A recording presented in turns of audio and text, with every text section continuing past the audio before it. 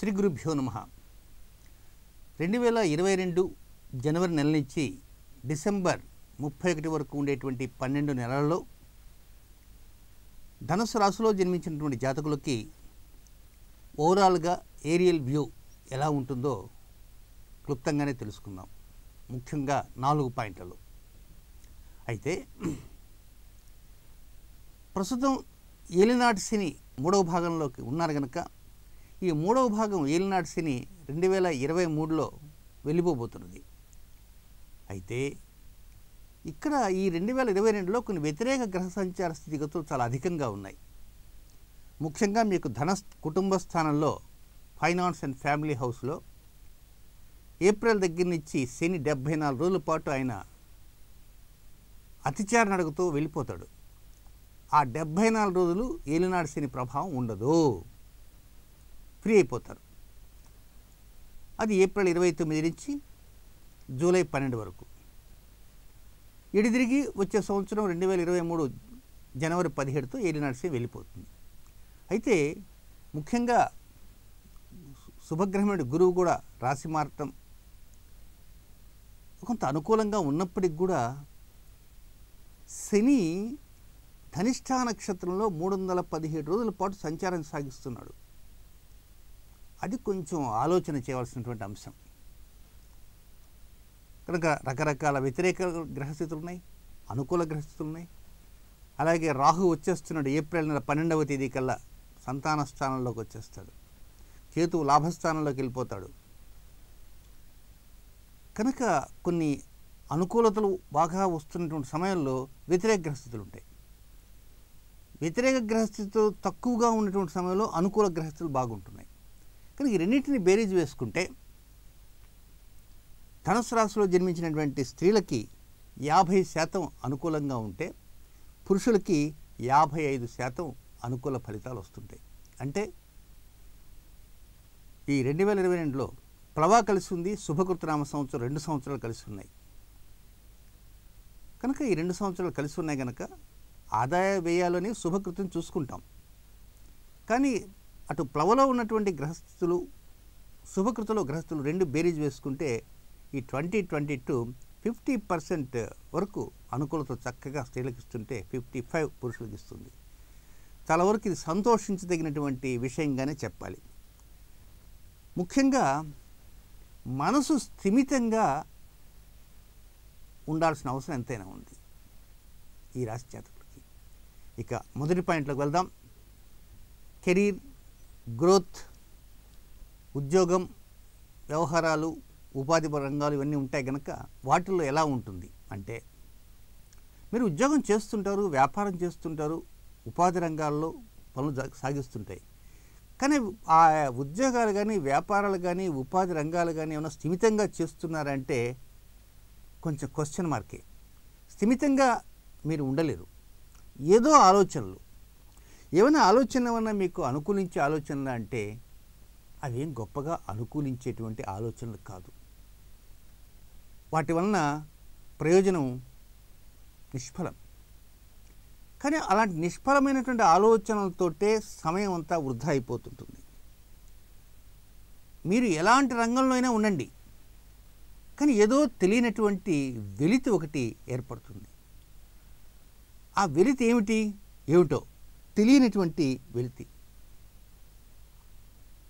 ఈరోజు ఒక రకంగా ఉంటే రేపు ఇంకో రకంగా ఉంటే ఎల్లుండి మరొక రకంగా ఉంటే వచ్చలు ఇంకో రకంగా ఉంటుంటారు. ఈ వెలితి వలన కొంత ఆరాటాలకి పోరాటాలకి వెళ్ళాలా అనేది మనసులో అనిపిస్తుంటుంది. ఇలా అనిపించిన కారణంగా కొంత అధికంగా మీరు తీక్షణంగా ఆలోచన చేసిన కారణంగా ఒక్కోసారి ఆరోగ్యం కూడా దెబ్బతినేటువంటి అవకాశాలు వస్తాయి అనారోగ్య స్థితిగతులు అధికంగా ఉండేటువంటి అవకాశాలు ఉంటాయి సో పై ఉద్యోగులతో ఉద్యోగులు అనేవారు పై అధికారులతో చాలా జాగ్రత్తగా ఉండాలి.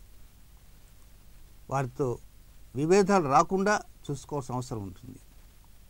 అలాగే సహచర ఉద్యోగులతో కూడా కలహాలు కోపాలు ఇలాంటివన్నీ ఏమీ లేకుండా చూసుకోవాలి. ఎందుకండి? పై అధికారులతో ఎందుకు చూసుకుంటాం అట్లా? అని. కానీ ఎందుకు అని అంటే మీరు చేసేటువంటి వృత్తి వ్యాపార ఉద్యోగ వ్యవహారాల్లో కొన్ని లొసుగులు అంటూ ఉన్నాయి. ఈ లొసుగులు కప్పిపుచ్చుకోవటానికి ఒక్కోసారి మీకు అవకాశాలు ఉండవు. అందువల్ల పైవాన్ని కాక పట్టుకోటాలి కానీ కాక పడితేనే మీలో ఉన్న లొసుగు వారు కప్పిపుచ్చుతారు. మీ అంతా మీరు కప్పిపుచ్చలేరు. కనుక సహచర ఉద్యోగులతో కాకాపట్టే విధంగా ఉండాలా? పై అధికారులతో మరింత వినయంగా ఉంటూ వారిని ఏదో ప్రకారంగా ప్రసన్నం చేసుకునే విధంగా ఉండాల్సిన అవసరం ఎంతైనా ఉంది. ఇక ముఖ్యంగా మే నెల దగ్గర నుంచి May June July August September October ఈ ఆరు నెలలు చాలా తీవ్రంగా ఆలోచిస్తుంటారు. చాలా తీవ్రంగా ఆలోచిస్తారు. ఎందుకు మీరంత ఆలోచన చేస్తున్నారు అని కనుక అడిగితే ఆలోచన చేయకపోతే ఎట్లండి? మొదటికే మోసం వస్తుంది అంటారు. ఏమిటా మొదటికే మోసం వచ్చేది ఏమిటి? అంటే ఏదో మీకు తెలియని తెలిసినటువంటి కొన్ని తప్పులు కొన్ని జరిగి ఉంటాయి. అవి ఎక్కడన్నా బయటపడతాయేమో. కనుక అవి బయటపడకుండా ఉండాలంటే మనం అవి కవర్ చేయాలా? అవి కవర్ చేయాలంటే అంత తేలికైనటువంటి విషయం కాదు. అందుచేత మే దగ్గర నుంచి అక్టోబర్ వరకు చాలా అధికంగా ఆలోచన చేస్తుంటారు. కష్టపడటం కాదు ఆలోచన చేస్తుంటారు అన్నమాట ఈ ప్రకారంగా పరిస్థితి అంతా జరిగిపోతుంటుంది. ముఖ్యంగా ఏప్రిల్ నెల ఇరవై తొమ్మిదవ తేదీ నుంచి జూలై నెల పన్నెండవ తేదీ వరకు ఏలినాటి శని ఫ్రీ అయిపోతారు. కేవలం డెబ్భై నాలుగు రోజులు మాత్రమే ఏలినాటి శని. ఆ సమయంలో మాత్రం ఆర్థిక లావాదేవీల్లో కొంత అనుకూలతలు ఉన్నట్టుగా అనిపిస్తుంటుంది. సో ఏదైనా డెవలప్మెంట్స్లో ఉద్యోగంలో ప్రమోషన్స్ విషయంలో కొంత మీరేమన్నా పలుకుబడిని ఉపయోగించి చేసుకోవాలా అనుకునేటైతే ఏప్రిల్ నెలలో కాకుండా మే నెల పదవ తేదీ తర్వాతనిచ్చి మీ ప్రయత్నాలకు కొంచెం ముమ్మరం చేయండి. అందులో మీ రాశికి అధిపతి ఎవరో తెలుసా? గురువు. ఆ రాశికి అధిపతి గురువు ఏప్రిల్ పదమూడవ తేదీన మీకు ఉద్యోగ స్థానంలోకి వెళ్ళిపోతున్నాడు. అంటే మీకు నాలుగవ స్థానంలోకి వెళ్ళిపోతున్నాడు. ఆయన నాలుగవ స్థానంలోకి వెళ్ళిపోతే కొంత మనవాడు ఏదో ప్రకారంగా మనకు అనుకూలతను అందిస్తాడు. ధర్మ ప్రభు మనవాడు అనేదానికంటే కూడా పెద్ద ఆయన. మనకు అనుకూలత అందిస్తారు అనేటువంటి ఒక భరోసా ఉంటుంది. కనుక ఆ భరోసా ఉంది కనుక ఆ భరోసాకు తగ్గట్టుగా కొంత ప్రయత్నాలను ఆ మే నెల తర్వాత నుంచి మీరు ప్రయత్నాలకి మొదలుపెట్టండి. ఒకవేళ ముందు మొదలు పెడితే ప్రయత్నాలు సాగకపోగా అవి ఏదో ప్రకారంగా ఆటంకాలను ఎదుర్కోవాల్సిన అవసరం ఉంటుంది. అలాగే గృహ నిర్మాణం జరగాలన్నా అపార్ట్మెంట్ కొనాలన్నా ఇలాంటివన్నిటికి కూడా మే నెల తర్వాతనే ప్రయత్నాలు మొదలుపెట్టండి. ఇక రెండవ పాయింట్ ఫైనాన్స్ ఇన్వెస్ట్మెంట్స్ పెట్టుబడులు ఆర్థిక స్థితిగతులు ఇవి ఎలా ఉంటాయి? వీటి గురించి మనం కొంచెం లోతుగా వెళ్దాం. ఫైనాన్స్ విషయంలో మాత్రం చాలా జాగ్రత్తగా ఉండాలి. ఎవరికైనా అప్పు ఇవ్వాలన్నా అప్పు తీసుకోవాలన్నా కూడా జాగ్రత్త పడండి. అయితే ఈ ఫైనాన్స్ విషయంలో కొంత డబ్బు పొదుపు చేశారనుకో ఆ పొదుపు చేసిన డబ్బు చూడగానే అది మీ మనసులోకి రాగానే దాన్ని ఏదో ప్రకారం ఖర్చు చేసేద్దాం అనేటువంటి ఆలోచనలు చాలా అధికంగా ఉంటాయి. బాగా గుర్తుపెట్టుకోండి. ఫైనాన్స్ పాయింట్ ఆఫ్ వ్యూలో ఫిబ్రవరి నెల పద్దెనిమిదవ తేదీ దగ్గర నుంచి డిసెంబర్ ముప్పై ఒకటవ తేదీ వరకు ఫైనాన్స్ విషయంలో ఎక్కువ జాగ్రత్తలు తీసుకోవాలి. ఎందుచేతనంటే మీ ఫైనాన్స్ స్థానంలో శని ధనిష్ట నక్షత్రంలో సంచారం చేస్తున్నాడు. బృహత్ సంహిత అనేటువంటి గ్రంథంలో శనిచార అధ్యాయం అనేటువంటి దాంట్లో పదవ అధ్యాయంలో ఆ పదహారవ శ్లోకంలో ఏమనుందంటే శని ధనిష్ట నక్షత్రంలో సంచారం చేస్తే దాని యొక్క ప్రభావం ఇంపాక్ట్ డబ్బు మీద ఉంటుంది. కనుక ఫైనాన్స్ పాయింట్ ఆఫ్ వ్యూలో ఫిబ్రవరి పద్దెనిమిదవ తేదీ నుంచి డిసెంబర్ ముప్పై ఒకటవ తేదీ వరకు ఎక్కువ జాగ్రత్తలు తీసుకోవాలి. ఈ ధనిష్ట నక్షత్రం అనేది రెండు వేల ఇరవై మూడు కూడా కంటిన్యూ అవుతుంది. రెండు వేల ఇరవై మూడు జనవరి ఫిబ్రవరి మార్చి పద్నాలుగు దాకా కంటిన్యూ అవుతుంది. మనం ట్వంటీ ట్వంటీ టూ మ్యాటర్ చెప్పుకుంటున్నాం. కనుక తొందరపడి రుణం ఇవ్వకండి. తొందరపడి రుణం తీసుకోకూడదు. ఒక బ్యాంకు నుంచి ప్రైవేట్ ఫైనాన్స్ మాత్రం తీసుకోకండి. బ్యాంకు నుంచి తీసుకునే రుణాలు కూడా చాలా జాగ్రత్తగా మీరు పే చేయగలరా పే చేయలేమా అనేటువంటి విషయంలో ఒకటికి పదిసార్లు ఆలోచన చేయండి. నెల తిరిగేటప్పటికి ఈఎంఐ పే చేయాల్సి వస్తుంది. ప్రైవేట్ ఉద్యోగులు కేవలం ఆ ఉద్యోగాల మీద డిపెండ్ అవుతారు. కనుక అది తుమ్మితే ఊడిపోయే ముక్కులాగా ఉండే ఉద్యోగాలుగా మనం చెప్పుకోవాలి. ఎందుచేతనంటే మీలో ఉన్నటువంటి కొన్ని లొసుగుల కారణంగా కొన్ని సమస్యలు అంటే ఉన్నాయి కనుక ఆ సమస్యల వలన ఒక్కొక్కసారి ఉద్యోగం వదిలి బయటకు రావాల్సిన పరిస్థితి ఏర్పడితే మళ్ళా తిరిగి ఉద్యోగం సంపాదించుకోవాలంటే కొంత సమయం పడుతుంది మధ్యలో. మరి ఆ సమయం పడుతుంది కనుక అప్పుడు ఈఎంఐ ఎలా పే చేయాలి? కనుక ఆ విషయం మీద కూడా మీరు ఆలోచన అంటూ ఇప్పటి నుంచే ప్రారంభం చేయాలి. అలా కాకుండా కొంత ప్రభుత్వ ఉద్యోగులు అనుకో ప్రభుత్వ ఉద్యోగులు అయినప్పటికీ కూడా ఫైనాన్స్ తీసుకునేటువంటి విషయంలో ఎన్నో జాగ్రత్తలు తీసుకోవాలి. ఒకవేళ ఏదన్నా పొరపాటు జరిగితే మన జీతం నుంచి అది కట్టేటువంటి అవకాశాలు ఎక్కువగా ఉంటాయి. ఎందువల్ల?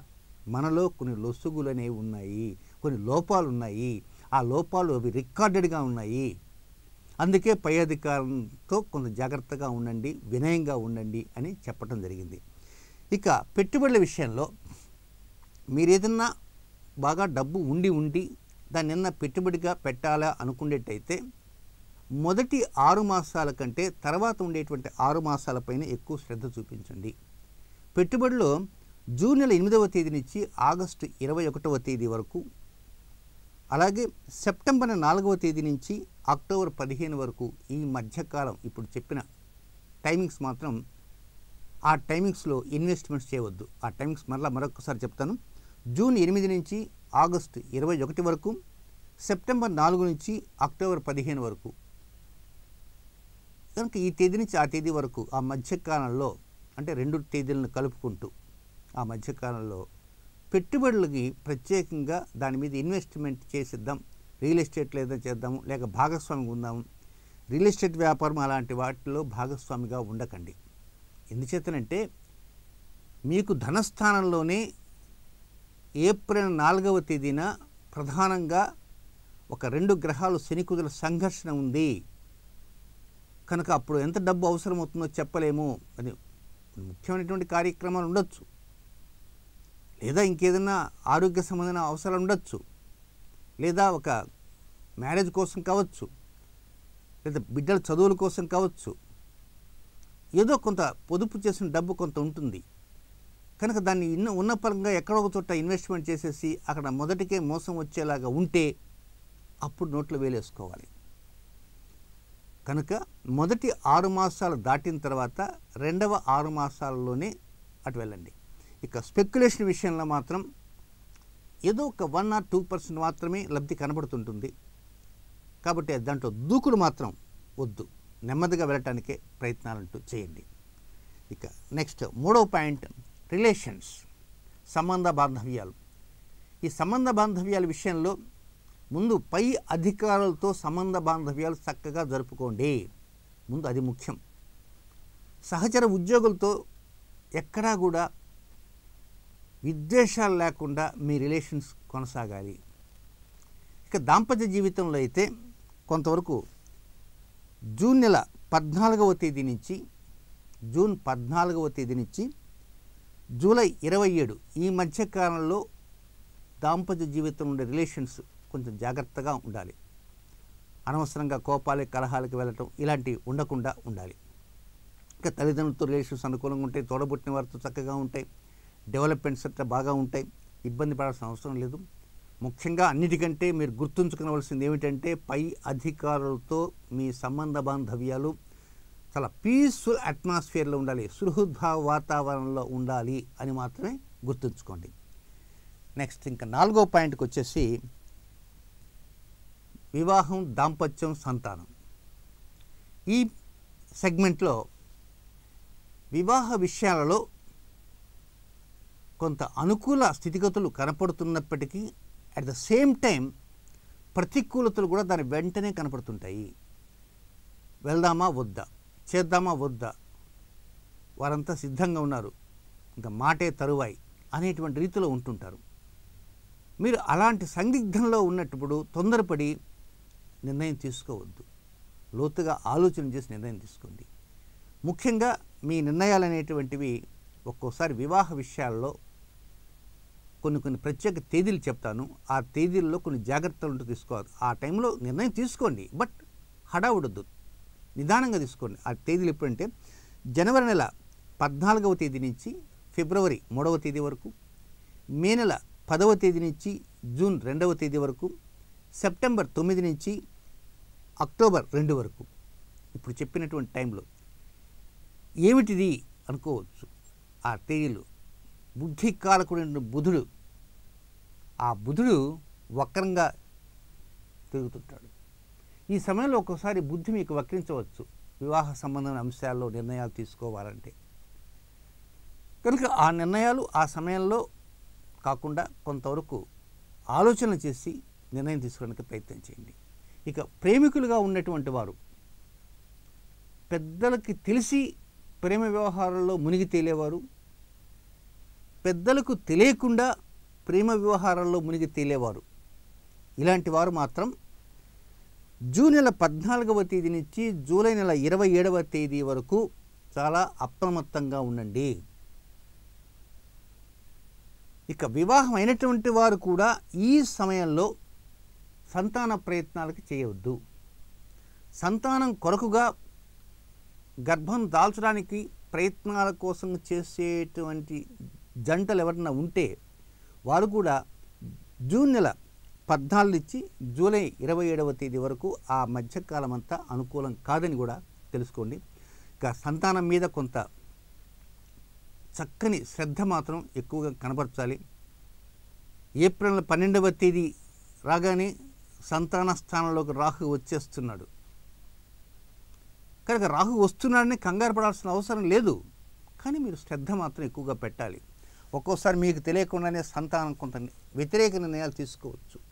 అది విద్యా విషయంలో కావచ్చు వారి యొక్క ఉద్యోగ విషయంలో కావచ్చు లేక వివాహానికి సంబంధించిన అంశాల్లో కావచ్చు. ఏదైనా మా నాన్నగారు ఏం లే నేను చెప్తే వింటారులే అనేటువంటి భరోసాతో కొంతమంది ప్రేమించిన వ్యక్తితో చెప్పా పెట్టకుండా వివాహం చేసుకునేటువంటి స్థితిగతులు కూడా ఏప్రిల్ పన్నెండవ తేదీ తర్వాత వచ్చేటువంటి అవకాశాలు ఉన్నాయి సో ఇవన్నీ జాగ్రత్తలు అంటూ తీసుకోవాలి ఈ నాలుగు పాయింట్లు. ఇక జనవరి నెల పదహారవ తేదీ దగ్గర నుంచి ప్రారంభమయ్యే రెండవ పక్షం నుంచి వీడియోలో మొదటి వీడియో ఒక ప్రతి రాశికి రెండు వీడియోలు అందిస్తాను. మొదటి వీడియో సాధారణ వీడియో సాధారణ రాశి ఫలితాలు ఉంటాయి. రెండో వీడియోలో అడ్వాన్స్డ్గా ఉండే రాశి ఫలితాలు విత్ డేట్స్ తెలియజేస్తూ ఆ ముఖ్యమైన తేదీలలో ఇలాంటి లోపాలు ఉన్నప్పుడు ఆ లోపాలకు తగిన తగినటువంటి సింపుల్ రెమెడీస్ ఏవైతే ఉంటాయో అలాంటి రెమెడీల గురించి కొంత లోతుగా తెలియజేస్తాను. అలాగే విదేశీ సంబంధమైనటువంటి సమయాలు కూడా వీలైనంత వరకు జనవరి రెండవ పక్షము లేదా ఫిబ్రవరి మొదటి పక్షం నుంచి ఆ సమయాలు కూడా ఇవ్వడానికి ప్రయత్నం చేస్తాను. కొంచెం అడ్వాన్స్డ్గా ఉంటాయి. కనుక ఎవరికి కావాల్సిన వీడియో వారు చూడడానికి ప్రయత్నం చేయవచ్చు. శుభం.